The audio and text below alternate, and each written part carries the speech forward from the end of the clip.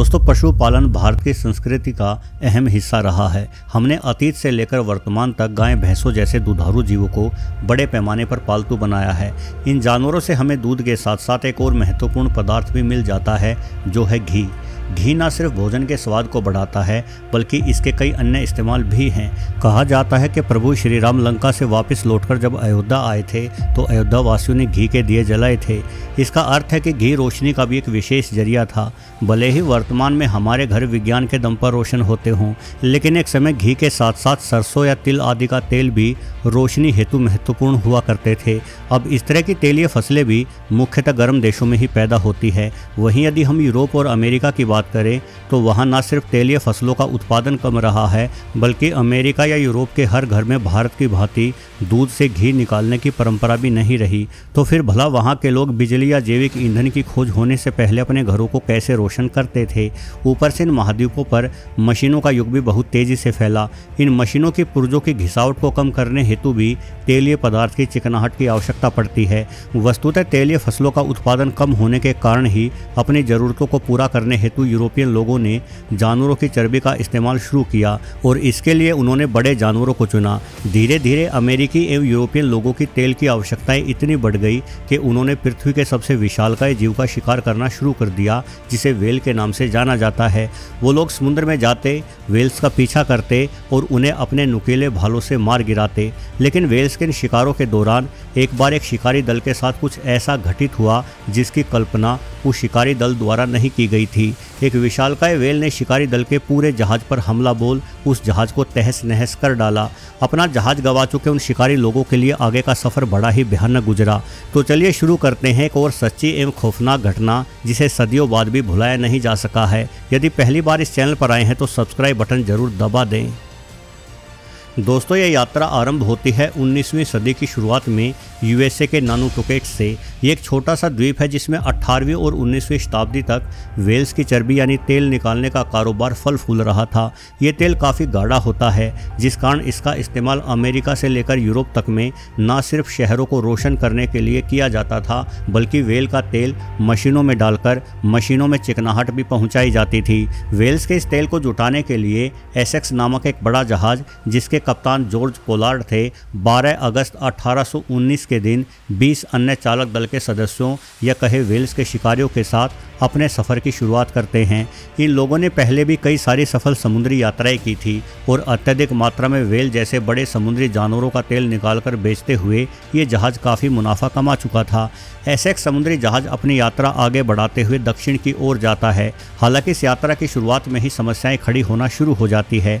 अपनी यात्रा शुरू करने के दो दिन बाद ही ये जहाज़ एक तेज़ समुद्री तूफ़ान में फंस जाता है, लेकिन जहाज़ की किस्मत उसका साथ देती है और खुद पर टंगी पाँच नावों में से दो नाव खोने के बावजूद भी जहाज़ डूबने से बच जाता है। इस तूफ़ान के कारण चालक दल के कई सदस्यों ने इस यात्रा को रद्द करके वापस लौटने का आग्रह कप्तान जॉर्ज पोलार्ड से किया, क्योंकि यात्रा की शुरुआत में ही तूफ़ान के आगमन को मनहूस समझा जाता रहा है।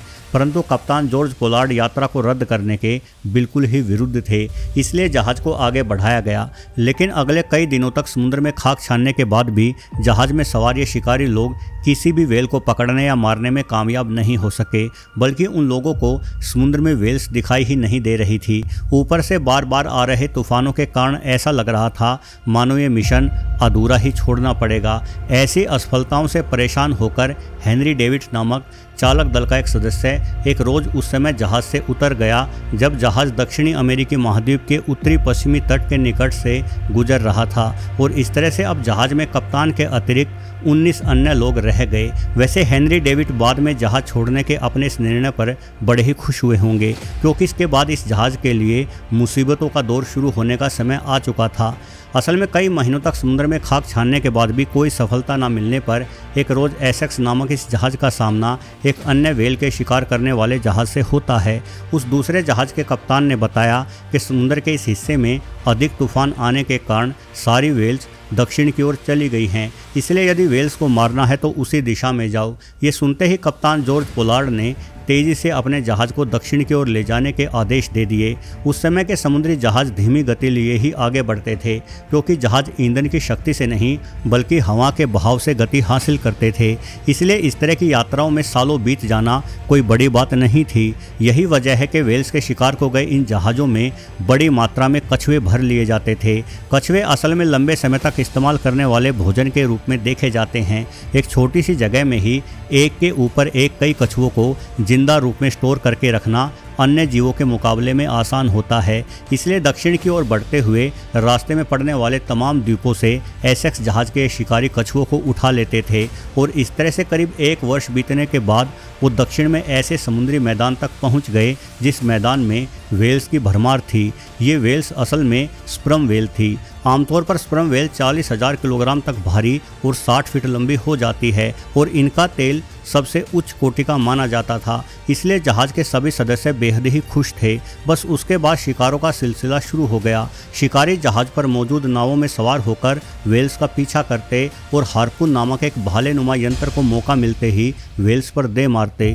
भाला लगते ही वेल तेज़ी से भागती, लेकिन भाले के साथ बनी रस्सी को तुरंत ही नाव के साथ बाँध दिया जाता, जिससे भागते समय नाव का वज़न भी वेल के शरीर पर पड़ता। इस भाले की रचना इस तरह से होती थी कि एक बार वेल के शरीर में धस जाने के बाद यह आसानी से बाहर नहीं निकलता था और अपने साथ नाव के वज़न को घसीटने के कारण जख्म पर लगातार ज़ोर पड़ने की वजह से वेल के शरीर का सारा खून बह जाता, जिस कारण कुछ मिनटों से लेकर कुछ घंटों तक के इंतज़ार के बाद बेचारी वेल मारी जाती। उसके बाद मरी हुई वेल के शरीर को काटकर उस कटे हुए शरीर के भीतर कुछ इंसान उतर जाते और वेल की चर्बी को बाहर निकालते। ये सारा मामला सुनने में ही काफ़ी क्रूर लगता है और इस हैवानियत से भरे शिकार को समुद्र में तैरते एक जीव की आँखें भी देख रही थी।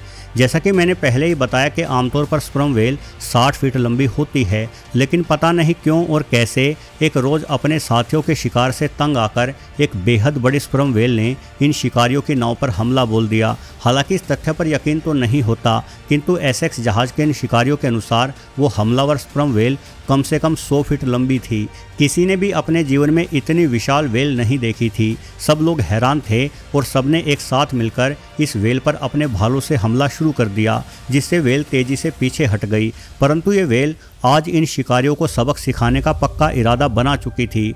अब नावों को छोड़कर ये बड़ी वेल शिकारियों के जहाज़ यानी एसेक्स की ओर तेज़ी से बढ़ने लगी। इस वेल ने अपनी पूरी शक्ति और तेज़ी लगाकर एसेक्स को एक जोरदार टक्कर मारी, जिस कारण ये जहाज़ लहराता हुआ समुद्र में पलट गया और इसी वजह से न सिर्फ़ शिकारियों के द्वारा जमा किया गया सारा तेल वापिस से ही समुद्र में बिखर गया, बल्कि जहाज़ में पानी भी भरने लगा और जहाज़ डूबने लगा।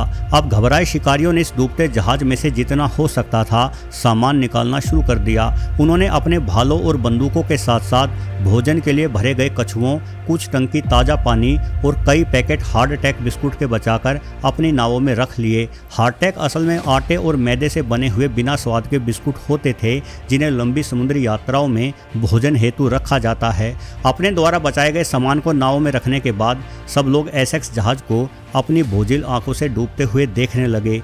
एक साल से भी लंबे समय तक चल रही ये यात्रा अब पूरी तरह से विफल हो चुकी थी। दोस्तों, इन शिकारियों के दल में कप्तान जॉर्ज पोलार्ड समेत कुल मिलाकर 20 सदस्य थे और जब इन सभी लोगों ने अपने सामान का और तटीय दूरी का आकलन किया तो इन्हें अंदाज़ा हुआ कि उन्हें अगले किसी भी तट तक पहुँचने के लिए कम से कम दो महीने लग जाएँगे। और इस दौरान प्रत्येक सदस्य रोज़ाना सिर्फ़ एक बिस्कुट और आधा गिलास पानी ही पी सकता था, क्योंकि तभी उनके पास मौजूद ये भोजन दो महीनों तक चल सकता था। हालाँकि उनके आसपास भी कई आइलैंड मौजूद थे, लेकिन इन आइलैंडों पर कई नरभक्षी आदिवासी जनजातियाँ रहा करती थी। ये आदिवासी बाहरी लोगों को बिना कोई विचार किए मारकर खा जाते थे। इसलिए सभी शिकारियों ने चिली देश के तट की ओर ही आगे बढ़ना शुरू किया और इसके बाद खुली नावों में दिन की चिलचिलाती गर्मी एवं रात के समय खराब हो जाने वाले मौसम में सफ़र आगे बढ़ा। ऊपर से भोजन की कमी ने सबको पूरी तरह से कमज़ोर कर दिया। करीब एक महीने की यात्रा के बाद इन शिकारी नाविकों को एक नया आइलैंड दिखाई दिया, जिसके बारे में उन्हें कोई जानकारी नहीं थी। आइलैंड को देखकर सबकी आँखों में चमक आ गई, लेकिन जब वो अपनी नावों को तेज़ी से आइलैंड की ओर तैराकर वहाँ पहुँचे तो पाया कि इस आइलैंड पर कुछ भी ऐसा नहीं था जिसे खाकर गुजारा किया जा सके। यहाँ सिर्फ़ कुछ सूखे हुए नारियल के पेड़ और थोड़ी बहुत घास फूसी थी।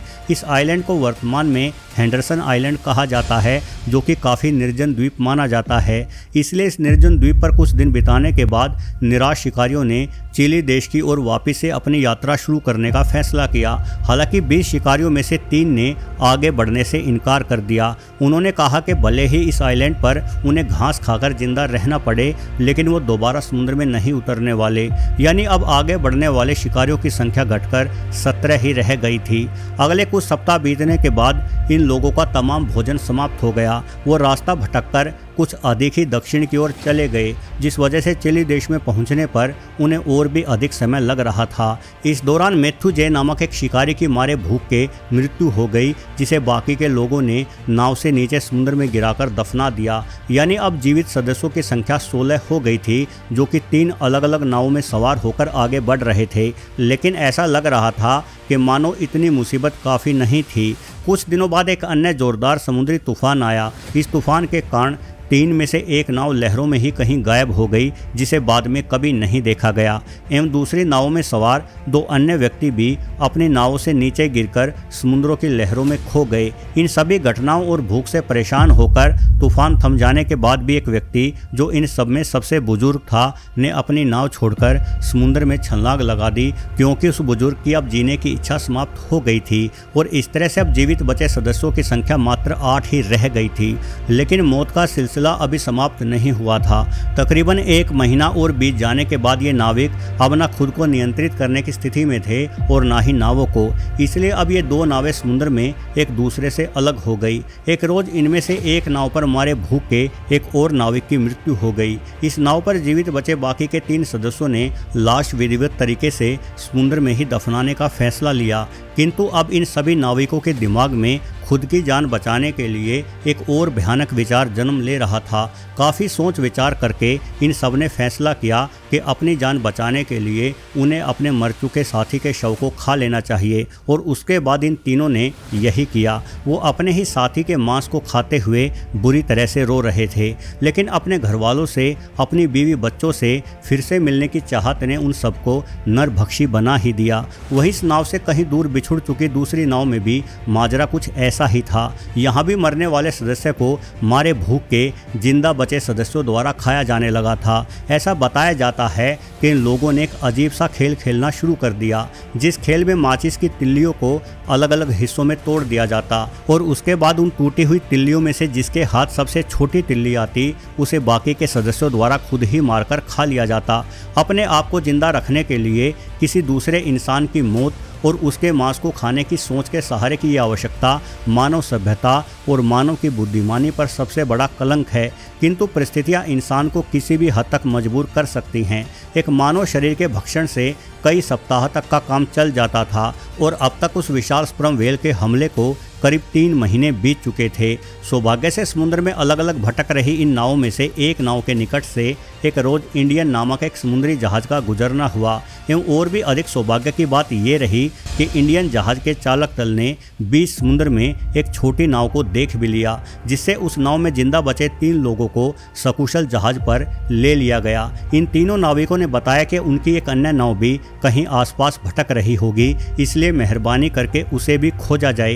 इंडियन जहाज़ के कप्तान ने उस नाव को खोजने की कोशिशें की और किस्मत का खेल देखिए। सिर्फ़ अगले कुछ दिनों में ही वो दूसरी नाव भी मिल गई। लेकिन इस नाव में केवल दो लोग ही ज़िंदा बचे थे और उन ज़िंदा बचे लोगों के मानसिक हालात इतने खराब हो चुके थे कि वो अपनी ओर आते जहाज़ को भी ना देखते हुए लगातार अपने मर चुके साथियों के मांस को कुतरे जा रहे थे। यहाँ तक कि जब जहाज़ से रस्सी डालकर इन लोगों को बचाने की कोशिश की गई तो इन दोनों ही लोगों ने अपने बचाव को ही आए मददगारों पर हमला बोल दिया, क्योंकि उन्हें लगा कि बचाव को आए ये इंसान असल में उनका मांस छीनना चाहते हैं। खैर, नाव पर ज़िंदा बचे इन दोनों लोगों को भी किसी तरह से समझा बुझाकर जहाज़ पर ले लिया गया और अगले कुछ रोज में ही जहाज़ चिली देश के समुद्री तट से जा लगा। यानी इस पूरे प्रकरण में पाँच लोग ज़िंदा बच गए। हालाँकि शायद आपको याद हो कि सफ़र के दौरान जब सभी नावें एक निर्जन आइलैंड पर पहुँची थी तो तीन लोग उसी आइलैंड पर रुक गए थे। बाद में जब इस आइलैंड पर मदद भेजी गई तो वो तीनों ही लोग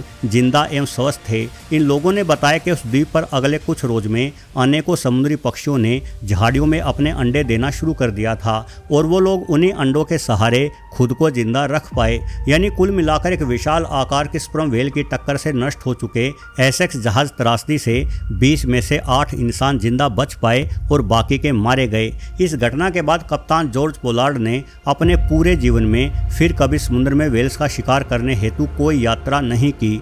वो करीब 78 वर्ष की आयु तक ज़िंदा रहे और तब तक हर वर्ष वो नवंबर की 20 तारीख, यानी जिस दिन उस विशाल स्प्रम वेल ने उनके जहाज़ पर हमला किया था, को अपने मर चुके साथियों की याद में व्रत रखते रहे।